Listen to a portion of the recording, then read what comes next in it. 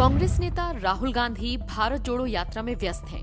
देश के कोने कोने में जाकर वो लोगों को जागरूक कर रहे हैं और पार्टी का वर्चस्व बचाने के लिए इस यात्रा को दिन पर दिन आगे बढ़ा रहे हैं। एक तरफ़ कांग्रेस को उम्मीद है कि इस यात्रा से आने वाले चुनावों में उसे फ़ायदा होगा तो वहीं दूसरी तरफ़ तमाम राजनीतिक दल उनकी इस यात्रा का मज़ाक उड़ा रहे हैं। राहुल गांधी को इस यात्रा में यूँ तो कांग्रेस के तमाम कार्यकर्ताओं का समर्थन मिल रहा है, लेकिन पहली बार उनकी यात्रा में फ़िल्म इंडस्ट्री से एक बड़ा सितारा शामिल हुआ और इसके बाद से ही कयास लगाए जा रहे हैं कि क्या इस सितारे ने कांग्रेस का दामन थाम लिया है। हम बात कर रहे हैं बॉलीवुड अभिनेत्री और famous film maker Pooja Bhatt की। दरअसल, पूजा भट्ट राहुल गांधी के साथ भारत जोड़ो यात्रा का हिस्सा बनती हुई नज़र आई।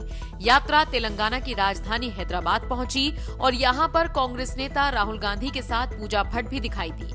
अब ऐसे में कयासबाजी का दौर शुरू हो गया है कि क्या पूजा भट्ट कांग्रेस का हाथ थामने जा रही है? बताते चले राहुल गांधी के साथ भारत जोड़ो यात्रा में नज़र आ रही पूजा भट्ट की कुछ फ़ोटोज़ सोशल मीडिया पर वायरल हो रही हैं। इन फ़ोटोज़ में आप देख सकते हैं कि पूजा भट्ट राहुल गांधी के साथ चलते हुए बातचीत करती हुई दिखाई दे रही हैं।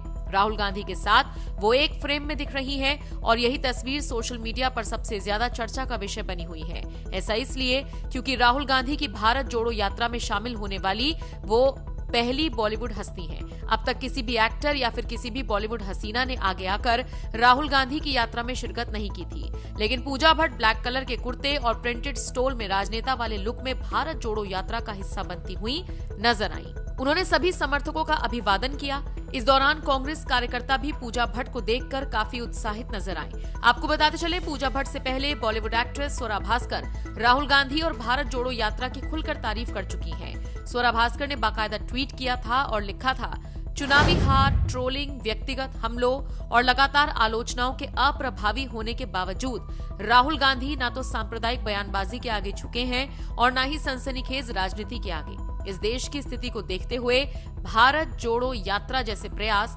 सराहनीय है।